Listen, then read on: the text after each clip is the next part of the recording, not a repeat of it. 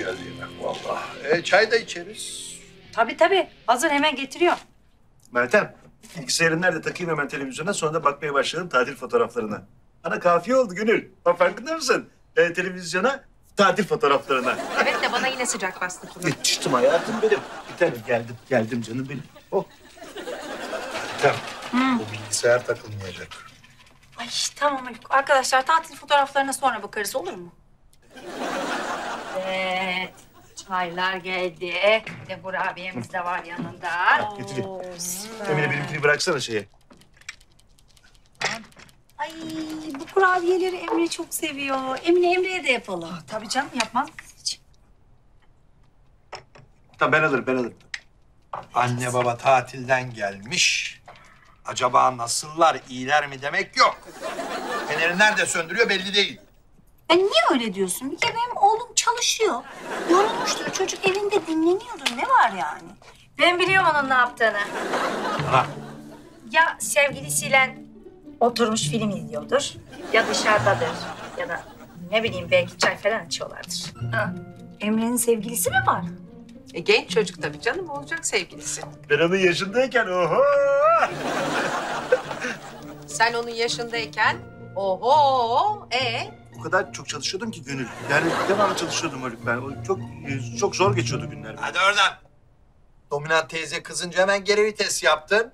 Oğlum adam gibi dursana söylediğinin arkasında. Haluk ben sana kaç kere adam gibi ifadesini kullanma demedim mi? Ya Meltem gözünü seveyim ya. Yani oğlunun sevgilisi var. Yakında kaynana olacaksın. Takıldığın şeylere bak. Ee, sen amma meraklısın ha beni kaynana yapmaya. Allah Allah. Dur bakalım daha o- olayın aslı aslarını hiçbir şeyini bilmiyoruz. Öyle sevgisi var değil mi ya? Biliyorum canım bizim komşulardan biri görmüş böyle el ele. Ha. İnşallah bu sefer uzatmaz. Nikah basar hemen.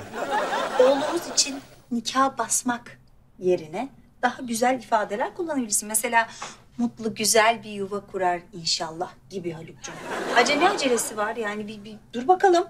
Dur bakalım yani öyle ben oğlumun koştur koştur evlenmesini falan istemem. Öyle mi? Yavaş yavaş evet. Ha ne acelesi var? Eşek kadar oldu. Bir an önce evlensin, düzenini kursun. Yani belki evlilik onu adam eder.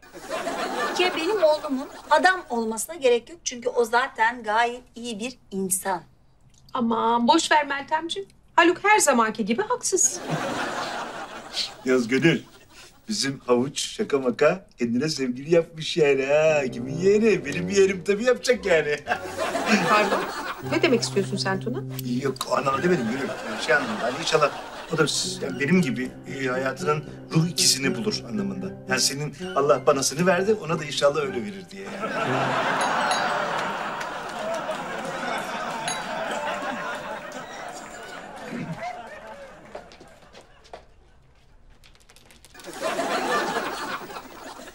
İyi misin? Hoş geldiniz Sertaç Bey. Hoş geldiniz. Ne işin var burada?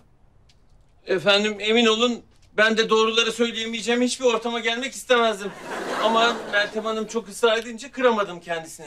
Kendisi çok kibar bir insan. Hiç sizin gibi değil. Bakmayın öyle efendim. Ne yapayım yalan mı söyleyeyim? Buyurun, buyurun, buyurun. Yo, yo, yo, yo. Ee, biz Sertaç Bey'le beraber e, biraz böyle terasa çıkalım. E, çayımızı orada içeriz. Hem de konuşuruz değil mi? Hayır, hayır, hayır, hayır. Bırak Sertaç Bey. Bırak, bırak, bırak. Sertaç Bey bizimle beraber burada salonda oturacak. Biz sohbet edeceğiz. Senin o son gün neler yaşadığını anlatacak bize Sertaç Bey. Değil mi Sertaç Bey? Buyurun. Hayır. Efendim çayma içmek istemiyorum. Ne yapayım yalan mı söyleyeyim Meltem Hanım? Buyurun, buyurun, buyurun. Merhaba efendim. Merhaba. Ay. Alo.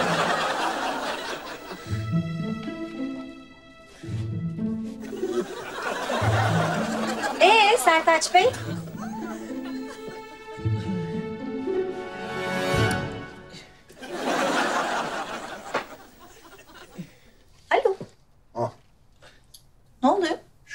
Toz var. Oluyor? Bir şey. Yani sen Sertaç Bey'in bize bir şeyler söylemesinden korktuğun için mi onu buradan uzaklaştırmaya ya da susturmaya çalışıyorsun? Ben hiçbir şeyden korkmam kızım. Sertaç Bey, siz her şeyi açık açık anlatmak istersiniz değil mi? Yalan söylemek istemezsiniz değil mi? Yani efendim. Siz dinliyoruz Sertaç Bey. Alo. Evet Sertaç Bey. Haluk bizden ne saklıyor? Yani bize bir anlatır mısınız? Herhalde yalan söylemek istemezsiniz değil mi? Efendim e, emin olun bütün gerçekleri anlatmak ben de çok isterim. Ee, yalnız e, şöyle oldu ki e, Bir şey yapmıyorum ya. Ya bir kere bak senin kendini kötü hissetmeni gerektiren bir şey yok. Yani bu senle benim aramda bir sır. Anladın mı? Yani sen kimseye yalan söylemiş olmuyorsun. Hadi gel biz seninle terasa çıkalım. Böyle biraz hava alalım hadi gel. Sertaç Bey. Bakın hazır üstünden zaman da geçti. Yani kendinizi kötü hissetmenize de hiç gerek yok. O yüzden bize hadi doğruları anlatın siz. Ne oldu? efendim o, o günden beri sırf size yalan söylememek için hiç yanınıza bile gelmedim. Sizinle karşılaşmak bile istemedim. Haluk Bey beni çok zor bir durumda bıraktı. Bakmayın öyle efendim. Yaşamadığınız için siz bilemezsiniz. Anlatıyorum her şeyi. Anlatma! Ay ne oluyorsun? Niye bu kadar abartıyorsun Haluk? Ya abartmıyorum. Bu ikimizin arasında bir sır anlatmana gerek yok. Haluk! Ya abicim sen böyle yaptıkça haber değeri daha çok artıyor. Daha çok merak ediyoruz ya. Gel abi otur şuraya. Bu Sertaç'la bir kere bir işe yarasın. Doğruyu söylesin. Abi söyleyelim yani. Ne var bunda Haluk Allah aşkına? Anlat abicim sen. Evet Sertaç Bey. Hadi buyurun. Efendim, Haluk Bey tatilin son günü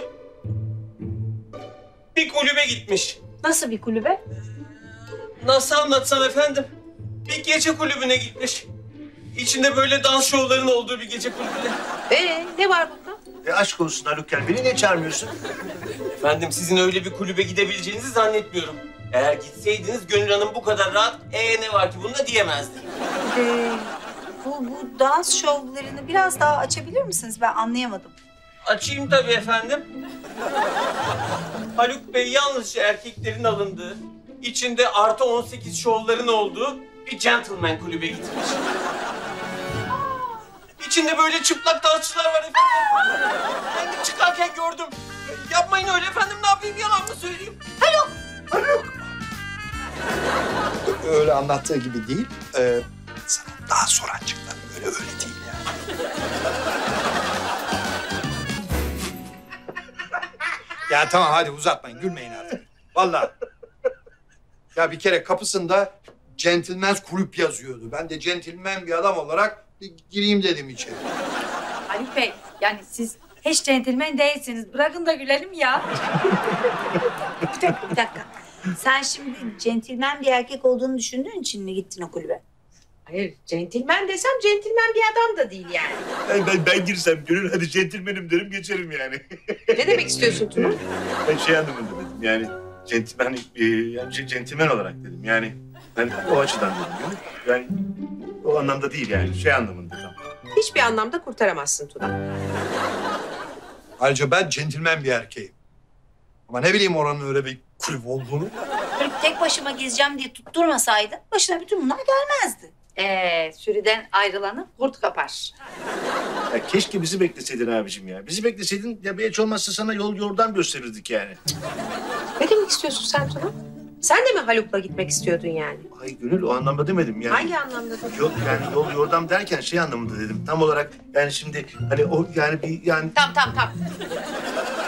Ay Gönül bir şey yok bunda ya. Ben çünkü... Ay konuştukça batıyorsun Tuna. Ay, batmıyorum Gönül. Batıyorsun. Yani. Hayır o yani şeyi an- yani bildiğim için yani bildiğim derken onu bildiğim için Ha değil. biliyorsun sen oraları Hayır yani. onu o anlamda demiyorum Gönül. Niye ısrar ediyorsun? Hayır hayır ben de öyle anladım Ne yani. Sanki var sen, abicim? ben oraları Alo. o yolları çok iyi bilirim gibi. Alo. Ama o anlama geldi yani. Haluk'cum keşke doğruyu söyleseydin. Yani bu kadar sıkıntı çektiğine değmedi ki. Ya ne bileyim utandım. Yani ben taş fırın erkeğiyim kızım. Ben öyle yerlere gitmem ki. Böyle anlamadık girdik içeri. Neyse efendim bu gece de bir gerçeği ortaya çıkardığıma göre evime gidebilirim ben artık. Ay, çok teşekkür ederiz. Sağ olun. Rica ederim olun. efendim. İyi geceler. İyi geceler. İyi geceler Haluk Bey. Seninle sonra görüşeceğiz. Sağ olun efendim.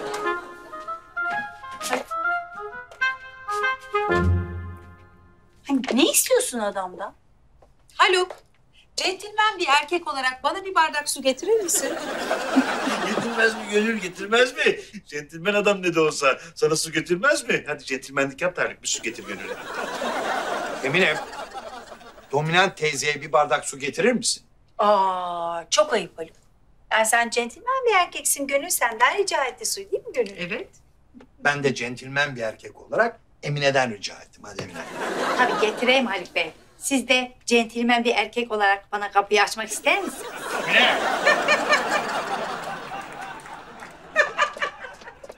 Aa, centilmen bir erkek hiç böyle bağırır mı bir hanımefendiye? Hiç duymadım. Çok ayıp.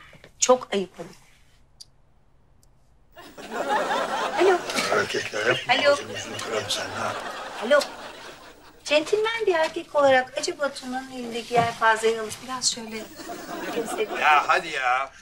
Al ben Allah tabii Allah. ben yaparım bak. Bak, bak, hareketlere bak. adam ya. Al ben tabii. Sen biraz önce hani ben çok iyi yol yordan biliyorum diyordun. Anlatsana bakayım. Herhalde sen çok deneyimlisin bu konuda. E, Yol yordam derken yani ben navigasyon anlamında söyledim. Öyle biliyorum yani. Yoksa niye şey yapayım yani?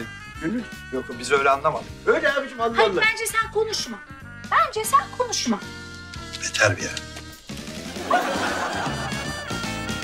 Ha, bu gece için çok teşekkür ederiz arkadaşlar. Özellikle sana Haluk. Yani çok eğlendik sayende. Hadi gelelim. E, biz müsaadenle kalkıyoruz ama senin kalkmana gerek yok yani. Biz e, çok senin yakın arkadaşların olduğumuz için yani bize centilmenlik yapmana gerek yok. Bu arada bu konuştuklarımızı hafızalarınızdan sileceksiniz ona göre. Aa, sizin gibi centilmen bir erkeğin söylediklerini nasıl unutabiliriz sen? Al işte bu. Bir de niye saklıyorsun diyorsun. Tamam, da- tamam daha fazla kocamın üstüne gitmeyin. Tamam. Ve ben centilmen bir erkek olarak hanımefendi siz önden buyurun diyeyim de bari. Çok teşekkürler hayatım. Hadi hoşçakalın. Buyursunlar sevgili eşim. Görüşürüz. Haluk. Makineyi çalıştırayım da çıkayım Meltem Hanım.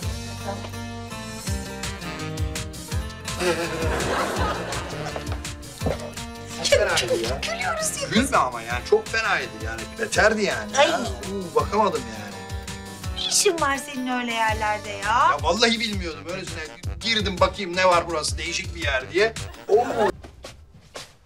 Aa, Haluk Bey, Ha, ne yapacaksınız o battaniyeleri? bagaja koyacağım. Akşam 22'den sonra dolu uyarısı veriyor. E, ama Meltem Hanım onları görmesin, çok kızar sonra. Bir şey olmaz. Araba delik deşik olsa daha mı iyi? Arabadan daha mı kıymetli bu battaniye? Haluk. Ha, e, Haluk, ben e, bütün gün dışarıda olacağım. Tatil sonrası bakımlarımı yaptıracağım, tamam? Ha, arabaların 45 bin bakımı gibi bir şey. Ben de arabayı bakıma götüreyim bari. çok komiksin.